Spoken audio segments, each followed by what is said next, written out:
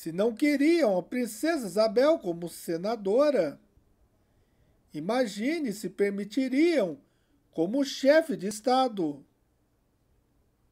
Ainda mais depois de ter-lhes tirado a mão de obra gratuita, a mão de obra escrava, e ter como seus projetos futuros o assentamento dos negros e o voto feminino. Foi por isso que a monarquia caiu em 15 de novembro de 1889.